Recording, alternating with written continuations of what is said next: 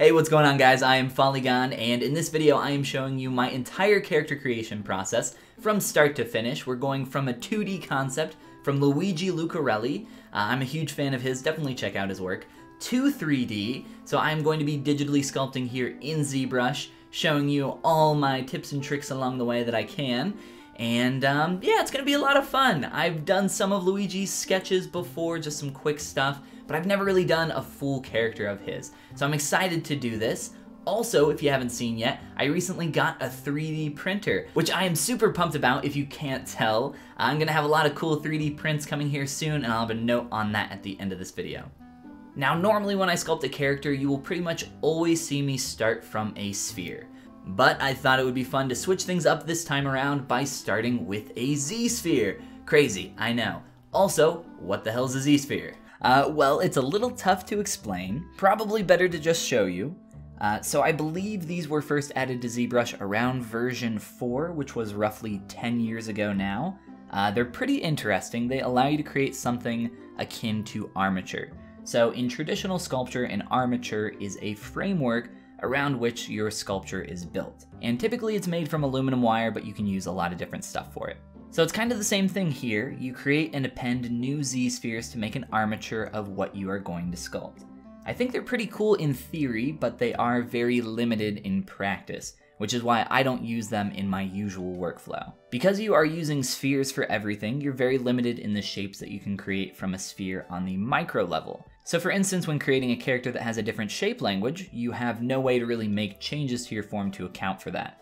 On the macro level, you're very limited on the form as well. As an example, I would maybe like to make my character's feet flat, or I would like to extend the shape of a face for my character, or even give them ears. Well, Z-spheres don't really like that very much and tend to warp the base of the shape that you are building on top of. So the entire point here is that we take this armature and convert it to geometry after we are done. But it turns out that you can just start with geometry from the very beginning and have complete control over your form on the micro and macro level. As well as have access to every tool and brush available that you can't use with Z-spheres, unfortunately. This software is made to work with geometry, and I like to use it for what it does best. Adding an in-between step doesn't really save me any time, and it actually limits my ability. But even with all that said, I still use Z-spheres for this quick basic armature because I thought it would be fun to switch things up, and I get a lot of questions about why I don't use these very, very special spheres. So moving on to actually blocking out the character now, uh, this involves me converting the Z-spheres to geometry and then shaping that into the basic form of my character. Now a lot of work needs to be done at this point to get into the basic shapes, but essentially what I'm doing here is paying attention to silhouette. I mainly use what is called the move brush at this stage. It does exactly what it sounds like. It moves the geometry. Crazy, I know, but it is the brush that I use uh, more than anything else here. So of course at this stage there is a lot more going on than just trying to match the silhouette of your concept, right? If we did that, then everything would look super flat from one side, we'd turn around and be like a flat Stanley situation.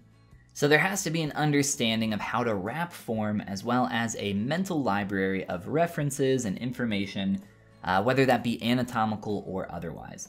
In short, what I'm talking about is simply experience. After the blockout stage, we enter into the a la carte menu where we can kind of work on, well, whatever we want. So I could spend some time making some shoes, the hat, the clothes. I have to do it all eventually anyway, uh, but typically I like to move on to the face next. The reason I do this is because the face is the focal point of your character, and it helps to bring everything together. Plus, it keeps me personally interested in working on the character more, and in general, I'm going to need to put a large portion of my time into the face. So the earlier I start, the better. I spend some time creating a very basic shape for the head so that I can match the silhouette as best as I can at this time, but this will change a lot more as I move forward and create more parts of the face. Color is also super helpful early on because it helps you see those proportional differences between your sculpt and your reference. I even block out some very simple hair and a hat early on so that I can make sure the size and shape of my head have enough room for all those parts to fit in there. I think it's a good idea while blocking out to create everything you can see at once in a very basic form before moving on to secondary shapes or detailing. As I move on to create different parts of the face like the nose, lips, eyes, etc., you'll notice that I make more changes to the surrounding shape of the head as I place those in.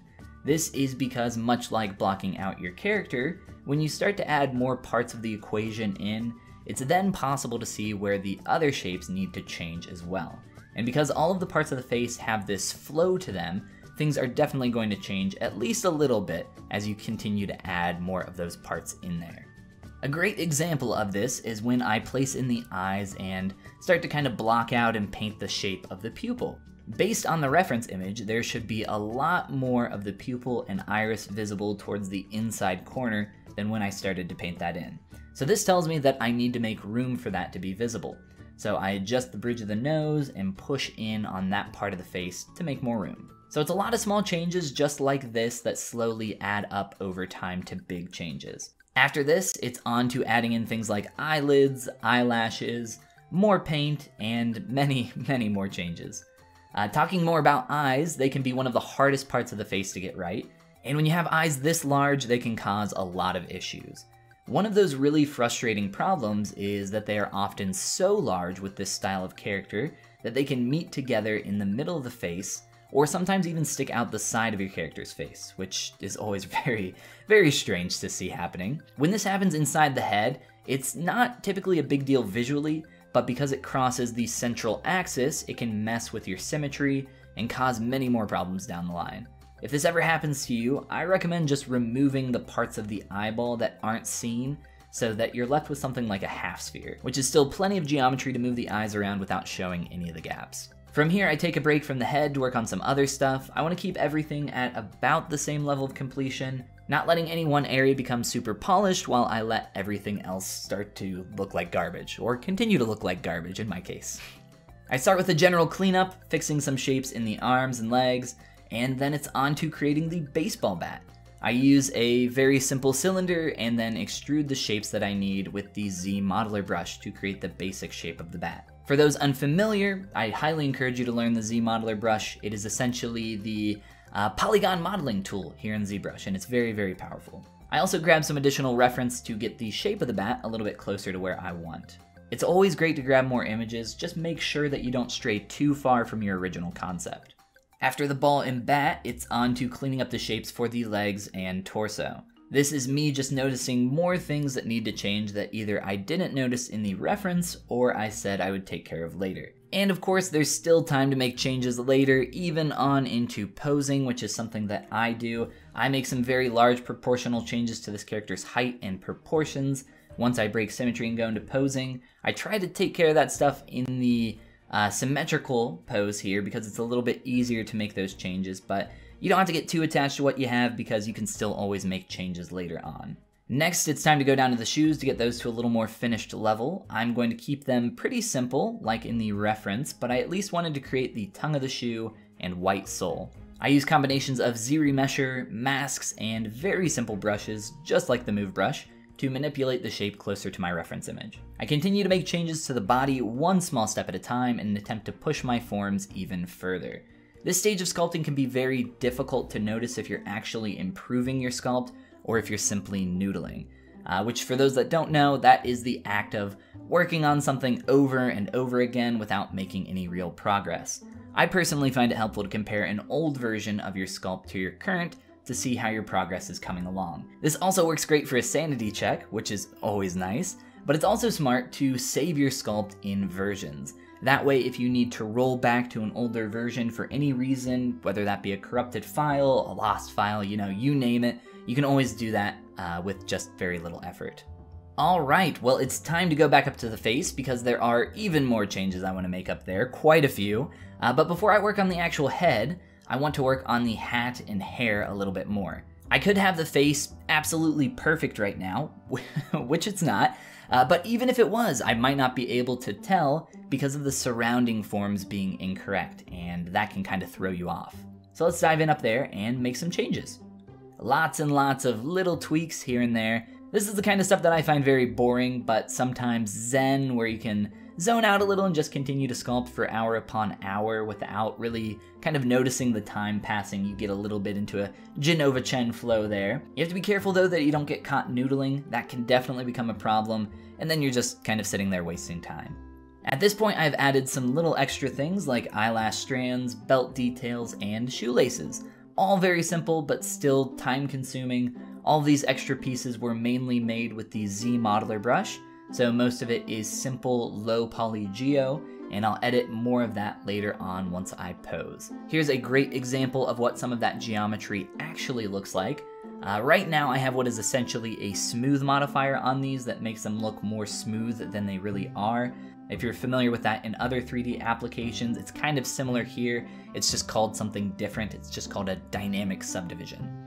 Uh, I'll add some real subdivisions to these later to make them actually look like what we can see uh, when it is smoothed out so that I can export this and render it in something else.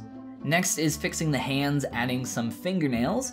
I tried to use VDMs first when I just modeled them. Uh, if you don't know what a VDM is, it stands for Vector Displacement Map, and there are particular VDM brushes that you can create here in ZBrush using those maps. And it works like an alpha map, but it displaces the geometry true to the original form, uh, which is just a fancy way of saying that you can have undercuts, uh, which you couldn't have in a traditional alpha map. An undercut is essentially an area that would have an underhang or maybe the geometry or form would swoop in. Imagine like Pride Rock from The Lion King. That sticking out, that big gap underneath Pride Rock, that is an undercut, and that would never be possible to create that with an alpha map. You would need a VDM to create Pride Rock. But all of that is to say that I didn't actually use VDMs. I tried and didn't really get the result that I wanted. Uh, but hey, that's 3D modeling for you, so I just modeled them the old-fashioned way and cleaned up my hands a little bit more. Then I posed them, a little rough here in the beginning to get a first pass, and I actually streamed this part live. If you were around for that, thank you so much for stopping in and saying hello. Streaming is not something I do very often anymore, but I had time one night this past month and jumped on for a couple hours. It was a lot of fun. I don't have any future live streams planned right now in this moment, but if you follow me anywhere on the, the whole ding dang internet, including here, I'll be sure to let you know the next time I go live. Alright, it's time for some big changes here next as I go into posing. This is always such a fun part because then we can work on adding folds to the clothing and all the fun asymmetrical stuff that comes with it. And things really start to feel a lot less stiff and unnatural. A character in a T-pose never really looks super great. I've always really enjoyed posing my characters because it's when things start to come alive, but it can, like many things here in 3D, be very time consuming. So while I am doing that and finishing the last bit of polish on this character, I want to talk about Grand Slams. I feel like I've been making a habit of talking about some new idea at the end of each of these videos, and this one is going to be no different. And I especially think it's fitting here with this baseball character. Uh, when you hit a home run in baseball, you knock the ball out of the park, right? You do something amazing. It's an amazing accomplishment that we all recognize, and it's why it has become an idiom for success you hit a home run at work this week, or you really just knocked that test out of the park. We've all heard these things and experienced these moments. And then there are grand slams, those extremely rare moments where all the groundwork has been laid, you step up to bat, give it your all, and you succeed. These moments are rare in baseball. I think it was like 1 in 12, not 12,000, 1,200. 12,000 would be absolutely insane. But like 1 in 1,200 uh, as often as a grand slam happens. One in 1,200 times a person goes up to bat. That's crazy. That's that's really special and memorable. I have a folder on my computer called Stylized Grand Slams. I don't know if you could tell, but I really enjoy creating stylized characters. So in this folder, it's full of stylized character artwork that essentially just goes above and beyond what others are willing or really even able to do and it's somewhat of a golden standard that I aim for and want to go beyond with each new artwork that I create. I don't want to make just another sketch or half-finished project, I want to make something that inspires, you know, something that will be remembered longer than the four seconds you will spend looking at the final image that I spent over a month most likely creating. I bring this up because I feel like so many people have this mindset when they start out, but lose the magic somewhere along the journey. I'm definitely someone that has fit into that category at points in my career, but the whole point being here that I want you to remember why you set out to learn whatever it is that you're doing so many months or years ago or maybe even yesterday, I don't know. And always try to prepare for and hit those grand slams. So that's what I'm trying to do by having that constant reminder of that folder on my computer So when I'm working on a project, I can always check back to that and kind of realign myself with the direction that I'm trying to head in. And I really think that if we hold on to something like that, then we can definitely accomplish our goals. All right, sap over. Big, weird, philosophical something over. Let's move on. If you follow my channel, you know it's been a while since my last video. Part of that is because I've been super busy with work lately, and another part is because I recently got a new 3D printer. I have a ton of experience creating stuff for physical production, uh, mainly toys that at some point need to be uh, rapidly prototyped through 3D printing. I've worked with meter cubed FDM machines, SLA, SLS, you know, just about every acronym you can name, uh, but I've never had my own personal printer, so I thought it was finally time to pull the trigger and get one for myself. I acquired an Anycubic Photon just this month, and a lot of what I've been doing up to this point is preparation. So this type of printing requires a lot of work, and I've just been trying to get everything set up to a point where I can print out my sculpts for future videos. I really wanted to print this character as part of this video, but at the risk of it taking another month before I uploaded anything, if I'm being honest, it'd probably take another two, so I'm going to be holding off on this gal and continuing on to some other works. My first print that I'm still working on while creating this video is the dragon that I sculpted during the 2020 ZBrush beta. I'm still trying to work out all the kinks and get a nice workflow down, but hopefully by my next upload, I can have something really cool to print out and show off for you guys. Awesome, well that is going to be it for this video. Thank you so much for watching. I hope you guys enjoyed getting to see a little bit of my process on this character. I definitely enjoyed creating her. Huge shout out again to Luigi Lucarelli. If you guys want to learn more about digital sculpting, check out my Gumroad and some of my courses. The link for that is down in the description, of course. Click that subscribe button if you're new around here, and with that, you guys have a fantastic rest of your day, and I will see you in the next video.